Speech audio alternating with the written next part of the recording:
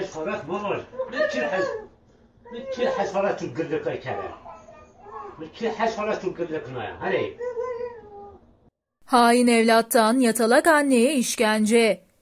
Olay önceki gün Elazığ merkez ilçesine bağlı Doğukent Mahallesi Güzel Sokak'ta meydana geldi. Edinilen bilgiye göre yatalak olan 3 çocuk annesi Rahime de oğlu AD tarafından işkenceye maruz kaldı.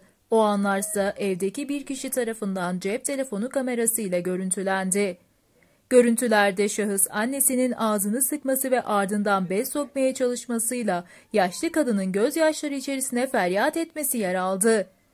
Bu çekilen görüntüleri gören torun ise köy muhtarı Mehmet Bayram'la birlikte karakola giderek şikayetçi oldu.